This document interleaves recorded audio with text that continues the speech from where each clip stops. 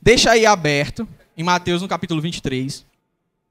Ah, e aí eu queria. É, é, engraçado que quando perguntaram lá no Instagram se os fariseus eram gente boa, se era gente ruim, né? Só deu coisa ruim lá, né? Ah, mas é, é interessante a gente pensar, e eu queria convidar você para dar um passeio na história comigo, para a gente conseguir entender quem é esse grupo. Quem eram os fariseus? O que comiam? Onde viviam? Né? Hoje não é o Globo Repórter, mas você vai ver comigo quem era esse povo e como que eles surgem ah, na história do povo de Israel, qual que era a importância deles para o povo de Israel e por que, que Jesus fala tanto sobre esses caras. Né? Ah, por que, que Jesus bate tanto nesses caras? Né? Por que, que ele, todas as palavras normalmente de Jesus a respeito dos fariseus eram palavras muito duras. Tá? Então, para isso, a gente vai ter que voltar no tempo para o período intertestamentário. Quem já ouviu falar nesse período? Intertestamentário. Você sabia que a Bíblia fala sobre esse período, certo? A Bíblia fala sobre o período intertestamentário. Você sabia disso? Que é o período entre o, no, o Antigo Testamento e o Novo Testamento. Intertestamentário. Entre os dois testamentos. Ah, beleza. Quando você vai na tua Bíblia, quando você vai na tua Bíblia, antes do livro de Mateus, volta para o primeiro capítulo do livro de Mateus aí. Primeiro capítulo do livro de Mateus. O que é que tem antes antes do primeiro capítulo do livro de Mateus? Hã? Não. Entre Mateus e Malaquias tem uma coisa. Hã? Uma página em branco. Antes dessa palavra Novo Testamento aí. tem uma página em branco. Você sabe por que, que existe essa página em branco? Sabia que isso tem um significado? Meu Deus, nunca me disseram. Isso sempre teve na Bíblia e nunca me disseram que isso. Pois é, tem um significado. Esse período da página em branco aí é chamado de silêncio de Deus. Silêncio de, quer dizer que Deus não. Calma, vou já explicar. Vou já explicar. Mas esse é o período de 400 anos entre o livro de Malaquias e a história narrada a partir do livro de Mateus. É o período de 400 anos onde não tem nenhum texto que é considerado como canônico na escritura, tá? E aí que escritura? É o texto canônico da escritura a primeira que foi formada com esses 60, com essa formação de 66 livros que tem na sua Bíblia. Porque ah, tem alguns livros que são chamados de deuterocanônicos, ou seja, que foram incluídos depois do cânon de 66 livros fechado, como por exemplo o livro de Macabeus, que ele acontece nesse período da página em branco, tá? Então, ah, na Bíblia Católica não é para ter essa página em branco, tá bom? Então, ah, que é o, livro de Macabeus, o livro de Judite, que são livros que estão na, na, na Bíblia Católica, que foram incluídos posteriormente no cano, tá? Então, esse, esse período é um período muito importante para a gente entender quem são os fariseus, tá? Ah, porque nesse momento está acontecendo a preparação do mundo para a nova aliança tá? para preparação do para a nova aliança. E aí, ah, vamos, voltando um pouquinho no tempo, o povo de Israel ele desobedece a Deus e ele é dominado por outras nações, certo? Ah, se você acompanha comigo aí a, a linha do tempo aí, primeiro o povo de Israel é dominado pelo Império Persa, 536 a 331 a.C. Depois, ah, pelo Império Grego, que é chamado o primeiro, a primeira parte desse domínio é chamado de Império Grego próprio, depois o Império Gre Greco-Egípcio, uh, o Império Grego Sírio, Greco-Sírio, Império e aí a gente tem um período chamado de período Macabeu, que é quando os, os israelitas eles se revoltam contra esses impérios todos e tomam o poder na pancada, né? Na, eles vão para pancadaria mesmo, tá? E aí o livro de Macabeus vai contar um pouco dessa história, esse livro que está lá na na, no cânon católico, vai contar um pouco dessa história aí, ah, do que acontece nesse período aí, onde uma família muito importante se reúne ah, e, e, faz uma revolução e eles tomam um poder entre os judeus. E aí, depois do, do período macabeu, a gente tem a dominação pelo Império Romano, que está dominando o povo de Israel na época que Jesus vem. Tá? Então, ah, isso é o que acontece. Quando a gente olha para o Império Persa, no Império Persa, esse primeirinho aqui, uh, uh, esse aqui, esse primeirinho aqui, acontece um fato muito interessante para a gente entender quem são os fariseus. a gente tem os retornos, os três retornos do povo de Israel, né? Parte 1, parte 2, parte 3. Parte 1 com Zorobabel, parte 2 com Esdras, e aí você vai encontrar isso lá no livro de Esdras, e a parte 3 com Neemias, em 425. Guardou. Quem são? Quem, quem, quem é que lidera o retorno? Os três retornos, vamos lá. Primeiro. Muito bem, Zarobabel, Esdras e Neemias. Tá. E aí guardem esses nomes porque eles são importantes, tá? A gente vai falar sobre eles mais na frente. Então, quando eles voltam, eles começam a desenvolver uma nova língua, por quê? Porque eles tinham sido espalhados entre as nações, eles já não sabiam mais falar o hebraico original, e eles desenvolvem uma outra língua que é o aramaico. Né? E aí eles começam a fazer uma reconstrução étnica. Não sei quem lembra desse episódio lá no livro de Esdras, onde o povo de Israel, eles tinham, os homens de Israel, eles tinham casado com mulheres de outras nações. E ele diz, ó, pode mandar elas embora. Como assim? É, manda embora a mulher e os meninos. Deus está mandando. É, o único divórcio promovido na Bíblia pelo Senhor foi nesse período. Vem aí. Ah, e aí, ah, por quê? Porque e aí, por que que, por que que faz isso? Se a gente lembrar como que o povo de Israel começa a perverter o culto ao Senhor, vocês lembram? Como que o povo de Israel começa a perverter o culto ao Senhor? Que Deus começa a deixar de ser realmente o Deus de Israel, antes da dominação pelos povos. Como é que começou tudo isso? Quem lembra? Quem lembra? Com um cara chamado Sa Sa. Quem falou?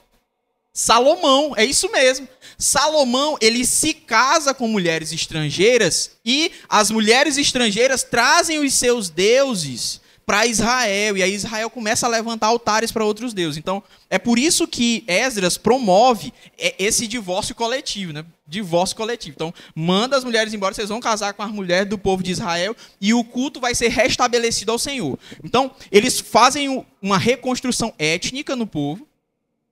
Ah, o, e aí o Império Persa usava isso como estratégia de dominação. Quem, era, quem é bom de história aí? Quem gosta das aulas de história aí? Ninguém. História. Temos uma galera que gosta de história. Então, então era uma estratégia de dominação do povo persa. O quê? Não, gente, eu sou legal. Ó, oh, eu sou tão legal que vocês vão voltar para a terra de vocês. Primeiro programa de volta para minha terra, que é promovido, é pelos persas. O povo volta para a terra deles. Eu, eu sou legal demais. Vocês voltam para a terra de vocês, se juntam com os amigos de vocês. Eu não sou legal? Sou. Aí, em troca, em troca, vocês ficam sendo meus servos, porque eu sou legal, tá certo? Então, eles fazem isso. Ah, é claro que Deus usa isso né, para cuidar do seu povo, mas essa era uma tática de dominação do Império Persa, tá? E aí, eles já tinham perdido muito da sua tradição, muito da sua cultura. E aí, eles começam a reerguer a cidade, começam a reerguer a religião. Não sei se vocês lembram, lá na reconstrução de Esdras, qual é a primeira coisa que é reconstruída? O altar. Eles reerguem o altar ao Senhor. Depois eles vão reconstruir os muros e vão reconstruir o templo, tá? Então, a, a, a Judéia foi incluída na província da Síria. E aí, ó, sumo sacerdote. O sumo sacerdote, ele se torna governador do lugar. Sumo sacerdote e governo. A gente tem o, o líder religioso é o mesmo líder político. líder religioso. Guarda isso, essa informação é importante, tá? O líder religioso é líder político. Acontece uma fusão da igreja com o Estado, né? em homenagem aí, né? Faleceu aí. Tá? Então, fusão da igreja com o Estado. Quais são as consequências? Aconte... E aí, por conta, por conta uh, do que tinha acontecido com o povo, havia uma situação de decadência espiritual, o poder do sacerdote cresce. Então, imagina, se você concentra o poder religioso e o poder político na sua mão, meu amigo, essa pessoa é extremamente, extremamente importante. Então, qual era o cargo mais desejado do povo de Israel? Sumo sacerdote, tá?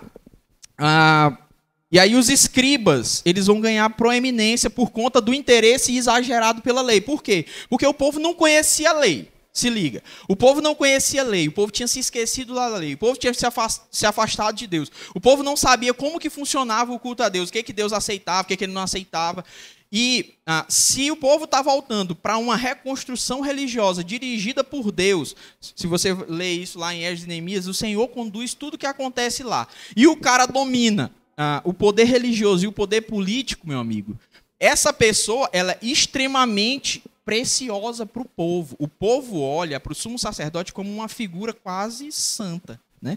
Quase santa, tá? Então e, e isso é muito importante para a gente entender como que o povo de Israel entendia os fariseus no tempo de Jesus, tá? E aí Alexandre o Grande, ah, que era devoto à cultura grega, à cultura helênica, ele né, era um, um sagaz militar e era um cara que também valorizava muito a cultura. Foi educado por Aristóteles. Ele vai subjugar várias nações, né? Ah, e aí nesse império ah, de Alexandre ele não promove, ele toma a Judéia, toma ali o povo de Israel, mas ele não destrói Jerusalém, né? E para quê? Para usar Jerusalém como polo estratégico de difusão da cultura grega. Como Israel ficava no local estratégico, Jerusalém ficava no local estratégico, todo mundo passava por Jerusalém, né? Ele era um entreposto entre a Europa e a Ásia. Não, deixa Jerusalém, Jerusalém é legal. Não vou destruir não. Vocês, eu sou amiguinho de vocês, ó. Aí, aí vocês fazem o quê? Aí vocês ficam sendo meus amigos também, me pagam os impostos e mandam dinheiro para mim para eu poder fazer minhas guerras. Tá? Então, uh, só que aí o que, que ele faz? Ele traz a cultura grega para Jerusalém. Tá? Traz a cultura grega para Jerusalém. E aí começa o processo de globalização né, chegando à cidade de Jerusalém, a língua o grego começa a se tornar uma língua universalizada, né? As transações comerciais, uh, tudo começa a acontecer na língua grega. Ela, ela ganha uma grande importância. Uh, Alexandre morre, mas uh, a cultura grega continua em evidência. E aí a dinastia ptolomaica assume, né? Cleópatra é a última da dinastia, e nesse momento acontece uma forma. Os, o povo de Israel, entendendo a, a, a dimensão da cultura grega, o que, que eles fazem? Cara, se a gente continuar falando o hebraico e o aramaico, pode ser que a nossa língua morra. Pode ser que a nossa cultura morra. E pode ser que o culto a Deus morra. Então o que, que a gente vai fazer? Vamos traduzir os nossos escritos sagrados para o grego. E aí começa uma. Eles, eles montam uma comissão formada por seis pessoas de cada tribo de Israel, que eram quantas? Doze tribos. Então, matemática agora. Seis de cada tribo dá quantas pessoas? Seis vezes doze. Baixa dois, vai um. Dá quanto? 70. Muito bem, aqui é a galera da matemática, a gente já sabe. Então, eles montam uma comissão com 72 pessoas que ficou conhecida como Septuaginta. Guarda esse nome. Septuaginta. Eles são intérpretes e escribas da lei que, que traduzem o Tanar, né, que é a Torá, Neviim Ketuim, os livros sagrados dos judeus. E esses livros, quando Jesus está falando lá sobre escrituras, a lei, os profetas, ele está falando desse livro aqui, que é traduzido por eles. Tá? Então, é, esse é o livro que é usado pelo, por Jesus, pelos apóstolos. Eles aprendem ah, sobre Deus na língua grega já. Tá? Então, aí a gente tem os Seleucidas. Ah, e aí surge um cara muito, muito ruim.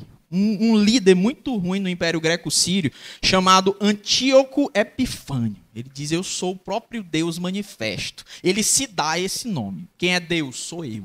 Tá? Antíoco Epifânio, ele aboliu a, a a adoração no templo de Jerusalém. Ninguém mais vai adorar a Deus, não. Acabou esse negócio, fecha o templo, né? Não tem Covid, mas manda fechar o templo lá. Ah, então fecha o templo de Jerusalém, proibiu a adoração no templo, e aí o que, que ele faz? Ele entra no templo e, e, promove um culto a Zeus no templo de Jerusalém, que era dedicado ao Senhor, e lá, só para bagunçar o processo, ele faz o sacrifício de um porco que é, né? Nada contra os palmeirenses, mas ele faz o sacrifício de um porco, que era um animal, que era um animal considerado impuro para o povo de Israel. Então, ele entra para bagunçar mesmo. Ele entra para bagunçar, né? O primeiro palmeirense da história, achei que brincadeira. Então, uh, ele era um cara extremamente ganancioso e, e, ele promove, e ele promove um massacre aos judeus, mata mais de 40 mil judeus. E aí, durante o império desse cara, agora a gente chega no, no ponto de, de, no ponto crucial aqui para a gente entender os fariseus. No império desse Antíoco Epifânio, surge uma briga de dois irmãos, chamado Onias III e Jason. Onias III era um grupo, era de um grupo nacionalista chamado de Hassidim ou Hassideanos, que eles eram descendentes dos reformadores de Esdras e Neemias. Lembra lá de Esdras e Neemias? E o Jason, como era irmão dele, também era descendente de Neemias, só que ele era helenista. O que, que significa isso, professor? Que ele era helenista. Ele era adepto à cultura grega. A cultura grega está chegando, globalização. Vamos adaptar o negócio. Vamos adaptar o culto a Deus, a nossa cultura, as nossas tradições. Né? A gente não está vivendo, mas naquela época que deram a lei para a gente. Vamos atualizar o negócio. Né? Vamos atualizar a Bíblia. Começou aqui, ó. Não foi com, né, com o nosso amigo lá, não. Então, e aí a facção resultante aqui, Dionias III, são os fariseus. E de Jason, os saduceus. A intenção dos dois, ser sumo sacerdote. Por quê? Por causa do poder. Por causa do poder, tá? Só que como que os, os fariseus buscavam ser sumo sacerdote?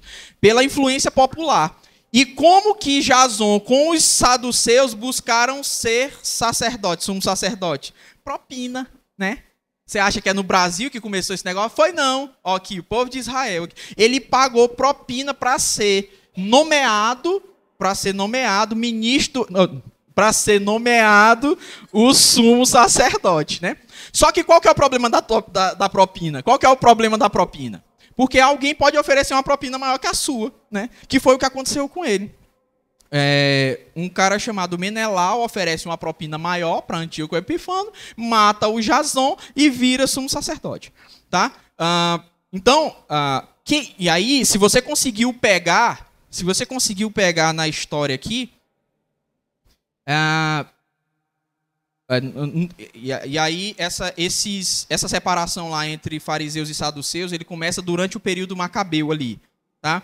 Pertinho do Império Romano, quando os macabeus dizem não, nós somos de Israel, somos o povo de Deus. Quem, quem é esse povo aí, esses gregos aí, para se levantar contra o Deus vivo? Aí eles querem dar uma de Davi, vão lá, brigam com todo mundo, tomam o poder de volta. E nessa época, os fariseus se unem com os macabeus para apoiar eles na revolta. Dizer, é isso mesmo, a gente tem que botar o reino de Deus aqui, né? É, Deus acima de tudo, não sei o quê. É, começa aqui, né?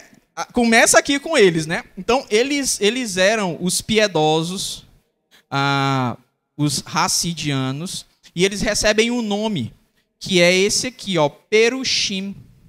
Repete comigo, Perushim. De novo, Perushim. Isso. Significa separados. Tá? E aí, quando traduziram esse nome, vira fariseus no, no grego, tá? Então, uh, então, assim, e aí, o que, que a, na, na, na, revolta dos macabeus, eles ajudam os macabeus a tomar o poder, só que o que, que eles percebem? Que os macabeus só estavam usando eles. Só, e aí, o que, que eles fazem? Se afastam dos macabeus, por quê? Porque eles queriam de verdade, os fariseus queriam de verdade a, que o Messias voltasse e que o reino de Deus fosse implantado. O reino de Deus fosse implantado. Quando eles percebem que os macabeus não queriam isso, eles só queriam o poder político, eles se afastam dos macabeus. Então imagina, ah, eles são descendentes de Esdras e Neemias, vêm mantendo uma tradição de estudo da Escritura, mas tudo que eles fazem é com um propósito: restabelecer o reino de Deus e trabalhar para que o Messias tomasse o lugar que era dele. Aí você pensa, como que esses caras eram amados pelo povo de Israel? Eles eram amados pelo povo de Israel. O povo de Israel dizia: esses aí é que são os judeus de verdade. Esses aí é que são os judeus puro sangue. Esses aí é que são os judeus fiéis, tá? Ah, porque eles não estão nem aí para o poder, eles não estão nem aí, eles querem, é, e aí é, é, uma palavra que é muito utilizada para os fariseus, é que eles queriam ah, restabelecer uma nova teocracia no povo de Israel. Porque vocês lembram que antes de começar a ter reis em Israel, quem era o rei de Israel? Deus. Deus era o rei de Israel. Israel viveu um período de teocracia. Então, era isso que os fariseus queriam que fosse restabelecido no povo de Israel. A segunda teocracia, a nova teocracia do povo de Israel. Então, eram assim ah, que, eles eram, que eles eram considerados. Né? É, é assim que eles eram considerados. E aí, quando chega o Império Romano, né? mata a galera e aí mata os macabeus e persegue os fariseus. Então eles são perseguidos por causa da palavra de Deus, eles são perseguidos por causa das escrituras. Eles têm que fugir, eles têm que se esconder, muitos deles morrem nessa tomada de poder romano. Só que eles decidem fazer alianças para uh, ah, se tornarem líderes religiosos né, e continuarem dominando a população através da religião. Então, uh, Herodes se torna rei da Judéia Uh, e, e aí eles fazem alianças uh, ah, para estar em proeminência no meio do povo de Israel. Então, eles eram o povo amado pelo. Eles eram, uh, dentro do, dos grupos que tinham na época de Jesus, fariseus, saduceus, essênios, os zelotes, ele era, eles eram o grupo mais amado pelo povo. Tá? Porque o povo considerava eles como os guardiões não era da galáxia, os guardiões da lei, os guardiões da Torá, os guardiões da verdadeira escritura, da verdadeira interpretação da escritura. Então, imagina como eles eram queridos pelo povo, como eles eram admirados pelo povo. Rapaz, esse povo aí vive para estudar a palavra de Deus, vive para estudar as escrituras. E aí a gente chega em Mateus, capítulo 23. Porque que eu quero que você reflita nessa noite? Jesus faz alguns elogios para os fariseus. Elogio, conversa, pastor. Tem elogio. E aí, é, e aí eu quero que você entenda quem eram os fariseus à luz de Mateus capítulo 23, versos de 1 a 3. Então, a gente vai, a gente vai começar com os três primeiros versículos, tá? Mateus 23, versos de 1 a 3, diz assim: Então falou Jesus à multidão e aos seus discípulos, dizendo: Na cadeira de Moisés estão assentados quem? Os escribas e os fariseus. Guarda isso no teu coração. Todas, ó, de novo, todas, todas as coisas que eles vos disserem, observeis. Fa em algumas versões aí de vocês vai estar, façam tudo o que eles disserem para vocês. É assim que está aí na versão de vocês. A ideia é exatamente essa. Então, você conhece a escritura desse jeito? Imagina Deus chegando e dizendo: ó, rapaz, Larissa, ó, estão vendo a Larissa? Tudo que ela falar para você da palavra de Deus, pode fazer. Esses eram. E aí, esse é um grande. Imagina, imagina, imagina ser elogiado por Jesus dessa forma. Jesus elogia os fariseus porque eles conheciam as escrituras. Jesus manda seguir todas as palavras que eles tinham, que eles davam. Jesus reconhece é, todo o conhecimento que eles tinham sobre as escrituras, porque eles eram um povo que vivia, eles, eles deixavam de fazer outras coisas na vida para viver apenas das escrituras, do estudo das escrituras. Tá? E, e isso é muito interessante porque eles, eles faziam isso, eles decoravam, eles meditavam, eles recitavam, e, e aí eu acredito que vocês. Todo mundo assistiu The Chosen aqui já, pelo menos um episódio? Em todos os episódios de The Chosen, eles estão recitando algum texto bíblico. Os, os próprios discípulos mesmo recitam de cabeça, assim, decorado o texto, o texto bíblico. Os fariseus, eles eram assim. Eles conheciam a Torá. E aí, quando eu estou falando Torá, é Gênesis, Êxodo, Levítico, Números e Deuteronômio. Os cinco, eles conheciam decorado. Como você conhece a Escritura? E aí, uma coisa que eu achei bem interessante na construção de The Chosen é que tem um episódio que eles recitam a genealogia de alguém lá. Não lembro de quem agora. Eles, eles recitam a genealogia.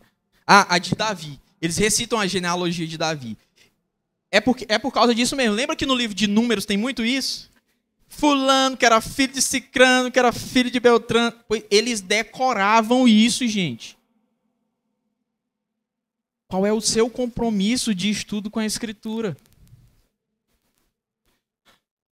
Jesus conhecia o zelo que os fariseus tinham em conhecer a Escritura, em, em, em saber o significado de cada uma daquelas coisas. E quando Jesus fala lá em Mateus, capítulo 5, nos versos 17 a 20, a respeito dos dois grandes mandamentos, que é de Primeiro é qual? Amar a Deus sobre todas as coisas e ele diz que essa é a lei e os profetas. A, a, a, ele sabia que os fariseus conheciam detalhadamente não apenas o que dizia lá, não apenas, as, não apenas as palavras que estavam lá, mas que eles meditavam de forma profunda nessas escrituras para tentar entender o que, que elas significavam no dia a dia deles, na vida deles. Você medita nas escrituras assim, você conhece as escrituras assim, você sabe onde é que está o livro de Obadias na sua Bíblia.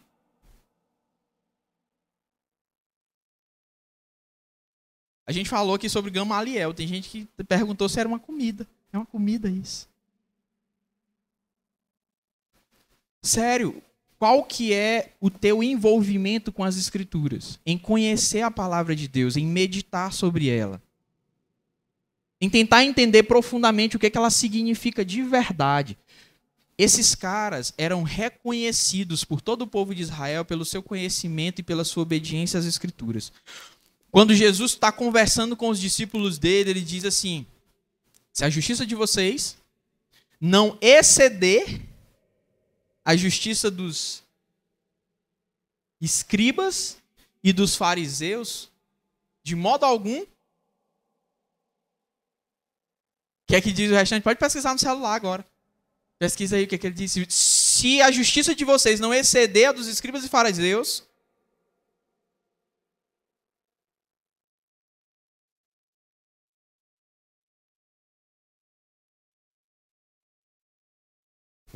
Cadê, gente? Achou não aí no Google? No Google. Pode ser no Google, não tem problema não. Desde que você ache, complete o versículo. Complete o versículo. Se a vossa justiça não exceder a dos escribas e dos fariseus, jamais ou de modo algum entrareis nos reinos dos céus. Sabe o que, que ele estava fazendo quando ele disse isso? Ele estava dizendo, ó, oh, esses caras são os que mais conhecem de Bíblia. O que, é que vocês sabem de Bíblia? O que, é que você conhece da minha escritura? O que, é que você conhece da minha palavra? O que, é que você conhece daquilo que Deus diz para você fazer no seu dia a dia? Você diz que essa palavra é a tua regra de fé e prática. Você conhece ela? Você conhece ela? E aí talvez você não você não, ah, pastor, eu até conheço, mas eu não sei dar aquela referência assim para dizer Mateus capítulo tal, versículo. Tá, mas você conhece. Você sabe quando a palavra se aplica e em que circunstâncias da tua vida. O desafio de Jesus para os seus discípulos é: vocês querem que a justiça de vocês receba, exceda dos escribas e fariseus, vocês precisam primeiro começar a conhecer a palavra de Deus que nem esses caras conhecem. E aí a gente vê a preocupação dos discípulos com isso lá em Atos, quando eles são desafiados pela igreja a cuidar das, dos órfãos e da viúva, lembra? E ele diz assim, ó, não é justo que a gente largue o ensino da palavra para servir as mesas. E aí eles levantam os diáconos para servir as mesas, para quê? Gente, a gente tem que comer Bíblia, porque eu estou é longe do escribe do fariseu. Você conhece a palavra de Deus? Você conhece a palavra de Deus? Você dedica tempo à palavra de Deus? Quando, quando Jesus fala, ame ao Senhor teu Deus de todo o teu coração ah, e ame ao teu próximo como a ti mesmo. Essa é a lei e os profetas. Ele, ele reconhece que esses dois mandamentos, esses dois mandamentos resumem os dez. Quais são os dez mandamentos mesmo? Você sabe? Primeiro, Primeiro, Amarás o Senhor teu Deus. É só saber se vocês têm certeza, tá, gente? Fica tranquilo. Amarás o Senhor teu Deus de todo o teu coração, com toda a tua alma, com toda a tua força, com todo o teu entendimento. Segundo mandamento. Eita, não. Dos dez, gente, dos dez, calma, dos dez. Dos dez. Primeiro mandamento, amarás o Senhor teu Deus. Segundo mandamento. Êxodo capítulo 20, abre aí. Abre aí. Não farás para ti imagem de escultura, nem semelhança alguma no que há em cima no céu, ou embaixo na terra, nem nas águas debaixo da terra. Terceiro mandamento. Isso aí é a continuidade do segundo. Terceiro mandamento. Não tomarás o nome do Senhor teu Deus em vão, porque ele não terá por inocente aquele que tomar o seu santo nome em vão. Quarto mandamento: guarda o descanso, guarda o Shabat, guarda o Shabat. Quinto mandamento: honra o teu pai e a tua mãe. Sexto mandamento. Sétimo mandamento. Oitavo mandamento. Nono mandamento. Décimo mandamento. Nada, não cobiça as cores do teu próximo.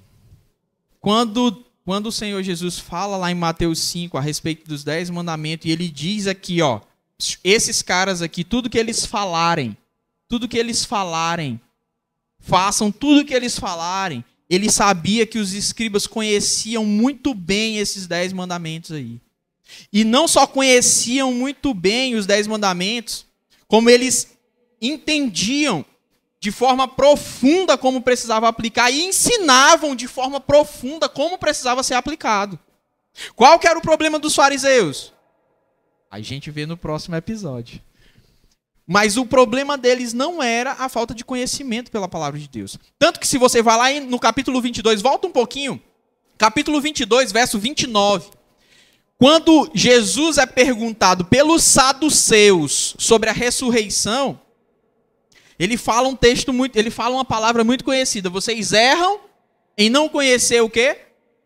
As escrituras nem o poder de Deus. Para quem que eles estavam falando? Para quem que ele estava falando?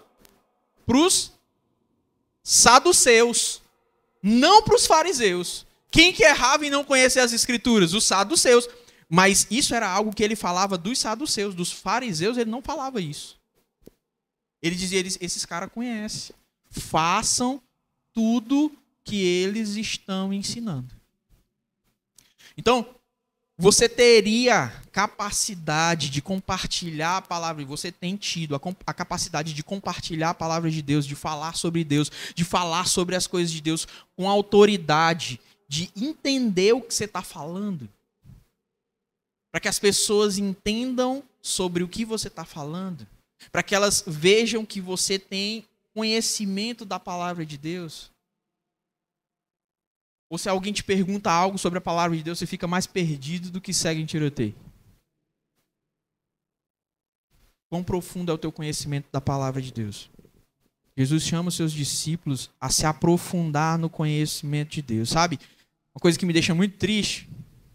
A galera sai postando os versículos, assim, que não tem nada a ver o que o versículo quer dizer. Já viu isso?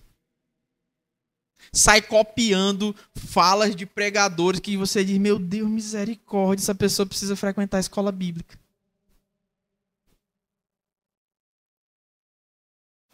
E aqui não é um desestímulo que Jesus faz para você olhar para vocês, meu Deus do céu, não consigo. Não, não, não. Ele está dizendo para você, ó, faz, estuda, conhece, se aprofunda. A minha palavra está aí. É um convite do Senhor. Conheça a minha palavra. Agora, isso vai exigir de nós tempo. Isso vai exigir de nós alguns episódios a menos de The Chosen. Pra até para a gente conseguir entender o que está tá rolando lá.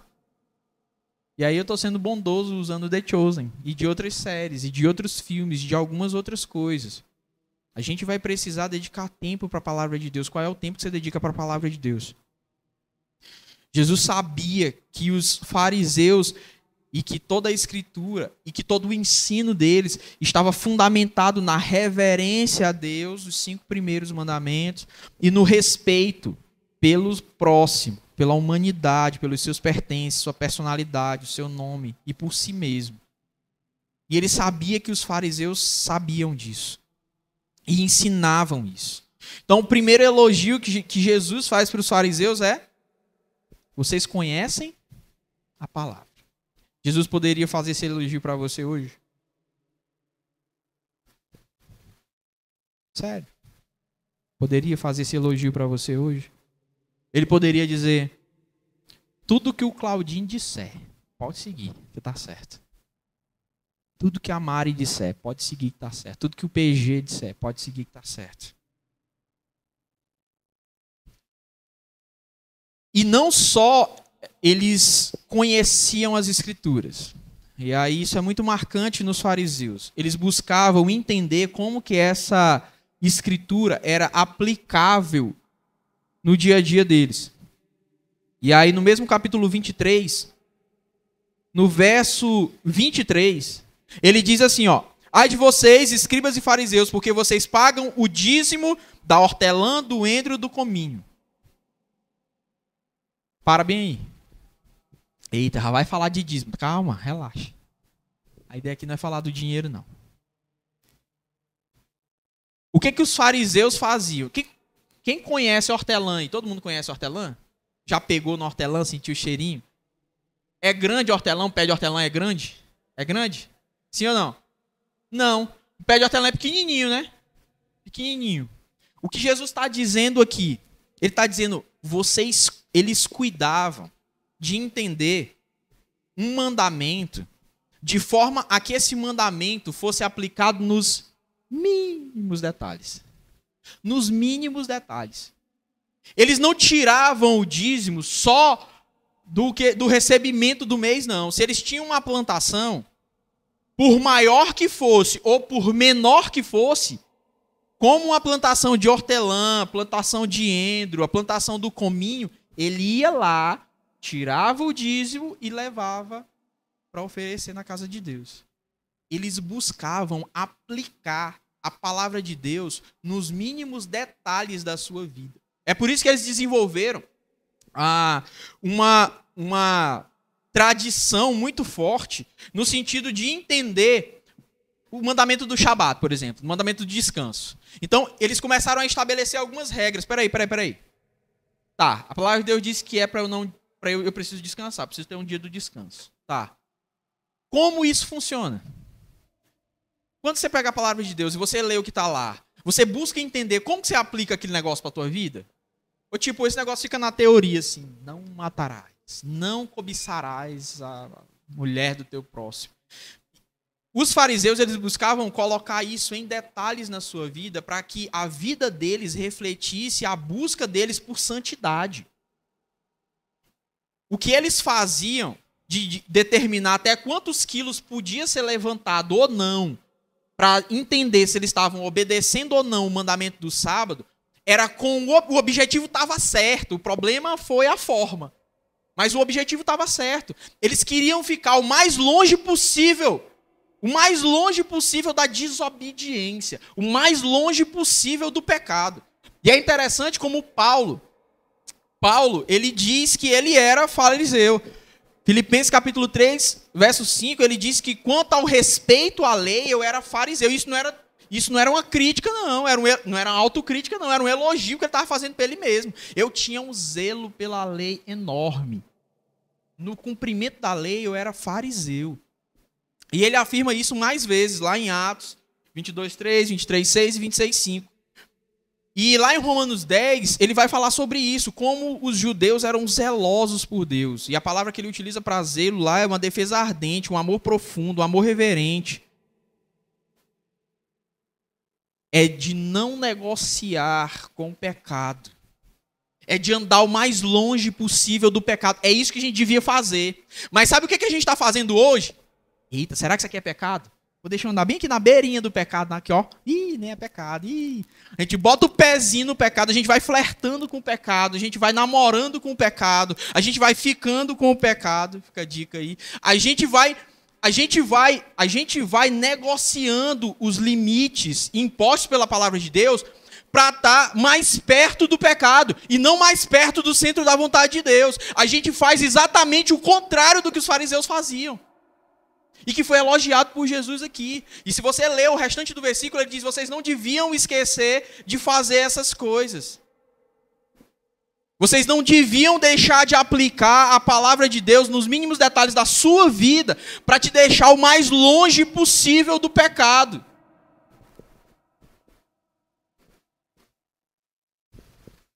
Qual o zelo que você tem para obedecer às Escrituras? Volta para o verso 4 de Mateus 23. Ele diz assim: tudo, é, pois eles atam fardos pesados e difíceis de suportar e os põem nos ombros dos homens, mas eles mesmos nem com o seu dedo querem movê-los. A crítica de Jesus aqui não era porque os fardos eram pesados, não. A crítica de Jesus aqui é porque eles não queriam mover esses fardos.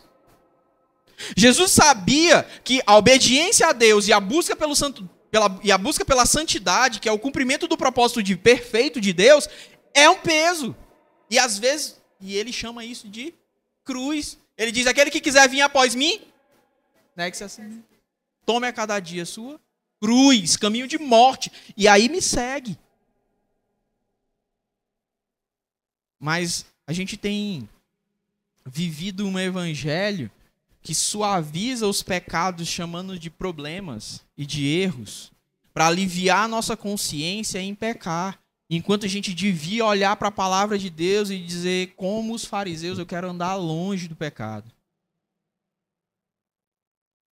Eu não vou usar uma régua para medir o tamanho da minha saia para saber se eu estou pecando ou não no tamanho da minha saia. Eu vou fazer a saia para não ter nem, nem perigo de pecar. Eu, eu vou abrir os botões para mostrar né, os músculos. Não, eu vou fechar para nem desconfiar que eu estou querendo né, seduzir as irmãzinhas.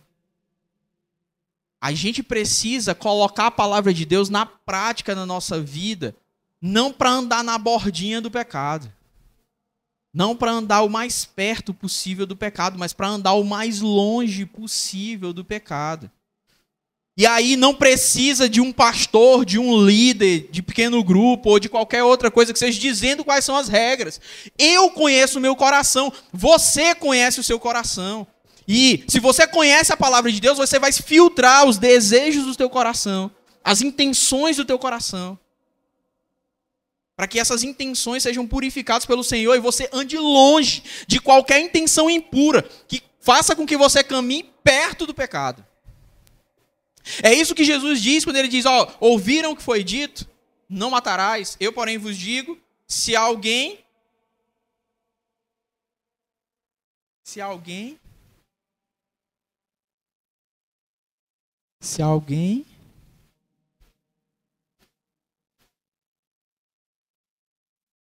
Se alguém odiar o seu irmão,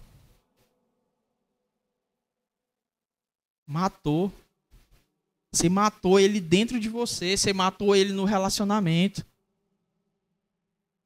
Quão longe você tem buscado andar do pecado? A palavra de Deus tem entrado na tua vida para gerar santidade e fazer você andar longe do pecado ou para aliviar a tua consciência e você continuar pecando.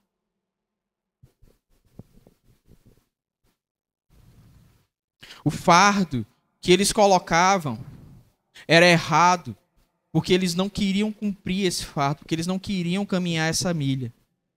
Mas o desejo deles mais profundo era um desejo de obediência. E é exatamente o que a gente vê em Nicodemos quando ele vai buscar Jesus de noite. É exatamente o que a gente vê em Paulo quando ele encontra com Jesus e vê que o que ele estava fazendo era insano. Ele tinha o desejo. Ele tinha o desejo de agradar a Deus. E Paulo vai falar muito claro sobre isso lá em Romanos 10. Só que o desejo dele estava canalizado do jeito errado. E a gente vai falar sobre isso nos próximos episódios. Porque de boa intenção O inferno está cheio. Não está na Bíblia isso. E eu espero que você conheça a Bíblia o suficiente para saber disso.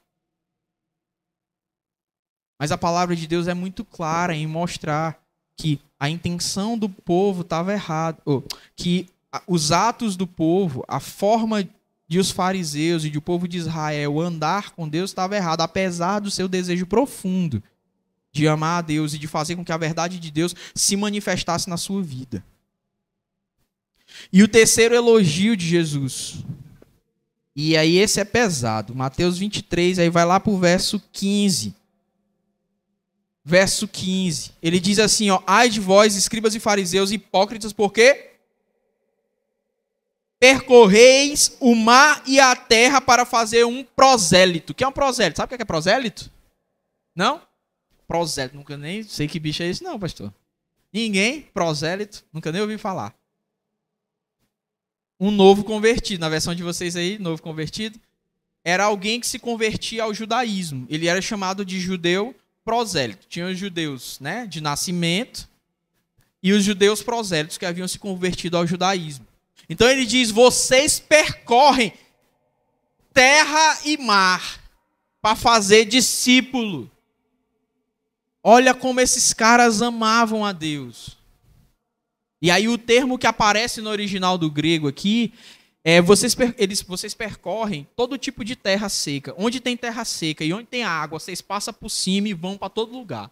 A ideia de mar é qualquer de mar do texto, né? O contraponto que Jesus faz aí é qualquer região alagada, seja rio ou mar, e qualquer terra seca. Vocês percorrem qualquer lugar para fazer discípulo. Era assim que os, que os, era assim que os fariseus viviam. Por isso eles eram amados pelo povo de Israel. E aí imagina que eles viviam num contexto helênico, de uma cultura grega. Você sabe como é que era? Deus não tinha, né? De jeito nenhum. Né? Você podia escolher, cada dia da semana tinha um Deus, cada mês tinha um Deus, cada ano tinha um Deus. Tinha um Deus para tudo que você imaginasse. Tem um Deus. Pensa numa coisa, tem um Deus para isso. Pois é. Eles tinham um Deus para tudo. E aí imagina, os judeus percorriam terra e mar para pegar que só um Deus era o Deus verdadeiro, que é uma mensagem, né, completamente aceitável por qualquer pessoa. Imagina, você chega para uma pessoa que tem 50 deuses e diz assim: "Rapaz, esses deuses estão tudo esses teus deuses assim assim, me desculpa, mas todos esses teus deuses aí são falsos. Só o meu Deus que é verdadeiro." Imagina, eu fico imaginando eles olhando para os judeus assim. Rapaz, tu se acha, né? Tu se acha. Quem é você para dizer para mim, né, que os meus deuses estão falsos? Vamos fazer assim? Agrega o teu Deus no meu. Ele disse negativo. Ah, eu já tenho 50, boto mais um aqui. Ele disse, não, negativo. Todos esses seus deuses aí são impuros. Rapaz, o cara chega na minha casa né? Dizendo que os meus deuses, que eu gosto tanto, são impuros, que não são verdadeiros. Você imagina como eles eram odiados entre as nações. Pelo simples fato de serem monoteístas em uma cultura que era completamente politeísta, tanto grega quanto romana. O ar de superioridade que as pessoas olhavam para eles, rapaz, esses cabas se acham demais. Vamos matar eles, vamos, vamos. Aí eles se juntavam e matavam os judeus. Os judeus, eles eram perseguidos simplesmente por declararem a sua fé.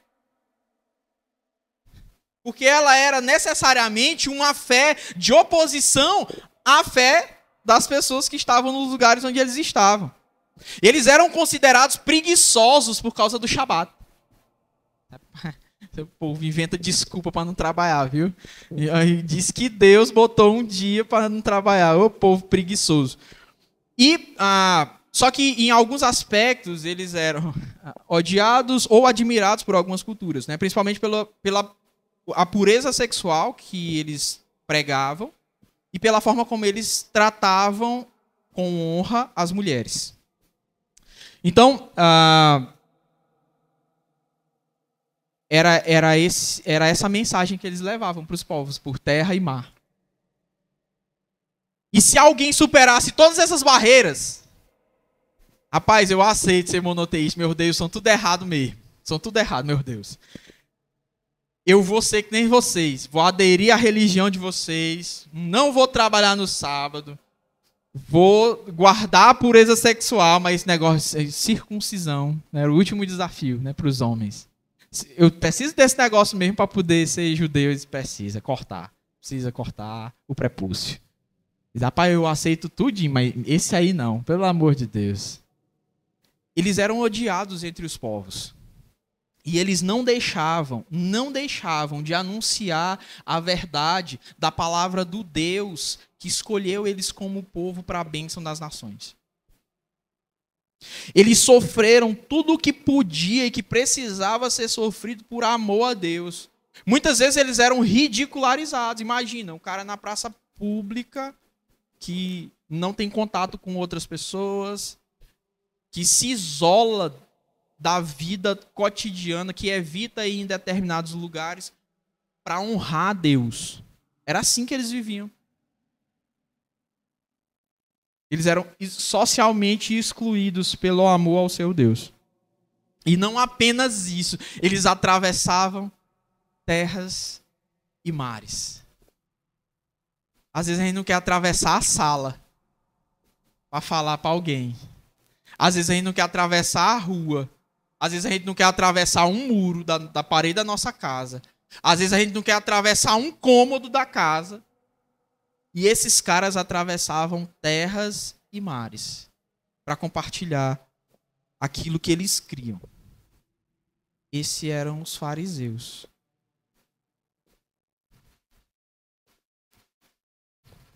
Você ficou chocado com alguma dessas características? Alguma dessas características é é algo que, que você precisa cultivar. Tinha um tio meu, que às vezes ele brincava com a gente. Tinha um, um amigo nosso que jogava bola muito ruim, muito ruim. E aí ele dizia assim para esse meu amigo: bicho, tu tem que melhorar é muito para ficar ruim. Tu tem que melhorar muito para ficar ruim. Pois é. Quando a gente olha para os fariseus, a sensação, às vezes, pode ser essa.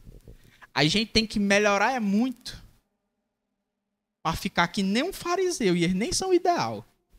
Tem que melhorar é muito para ficar ruim. Como que está você em relação ao seu conhecimento da palavra de Deus? Como está você em relação à sua obediência à palavra de Deus? Como que está você em relação ao seu desafio de compartilhar a verdade desse evangelho? Doa em quem doer. Enfrentando as exclusões sociais que talvez você precise enfrentar. Deixando de frequentar determinados ambientes que você talvez tenha que deixar.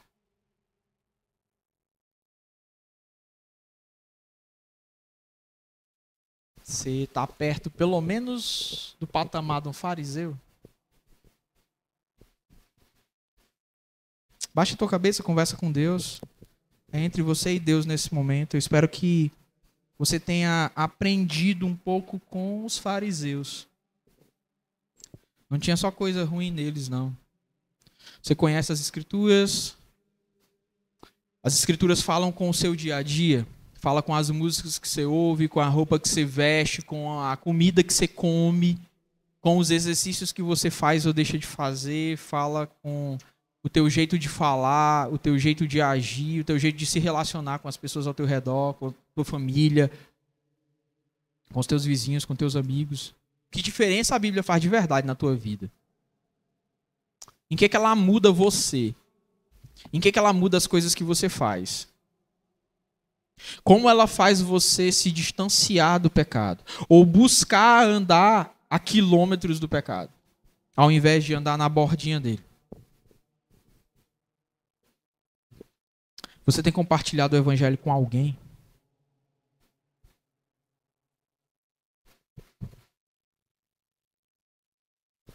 Deus tem misericórdia de nós, Pai. O Senhor nos chamou para que a nossa justiça exceda a justiça dos fariseus, se nós quisermos entrar no reino dos céus. Se nós quisermos que a nossa vida cumpra o teu propósito em nós e para nós. Se nós quisermos experimentar, Pai, a tua presença, a tua transformação, a tua vontade, a tua graça, e não apenas experimentar isso, mas ser a manifestação disso às pessoas que estão ao nosso redor. Tem misericórdia de nós, Pai, e nos dá vergonha na cara. Para a gente buscar a tua palavra, para a gente buscar te ouvir, para a gente buscar entender a tua palavra, para a gente se debruçar sobre ela e para que ela faça sentido no nosso dia, na nossa vida, nos afastando, Pai, da maldade do nosso coração, nos fazendo filtrar as inclinações pecaminosas do nosso eu, antes de qualquer coisa. Antes de olhar para os outros, Pai, que nós possamos olhar para dentro de nós, para a hipocrisia que muitas vezes habita em nós para o distanciamento do Senhor que muitas vezes está em nós. Nos aproxima do Senhor, da tua palavra, da santidade e do compartilhamento dessa verdade com as pessoas que estão ao nosso redor. É o que nós pedimos. Em nome de Jesus. Amém. Nos próximos episódios a gente vai falar sobre como Jesus critica esses fariseus. Espero que você esteja aqui. E eu espero que você traga outras pessoas, que você compartilhe daquilo que você ouviu nessa noite, para que a gente possa continuar sendo transformado pelo Senhor através da sua palavra. Amém?